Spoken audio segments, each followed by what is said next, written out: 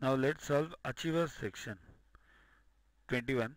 The line graph shown in the amount of the, shows the amount of electricity used by Mumbai from Monday to Friday.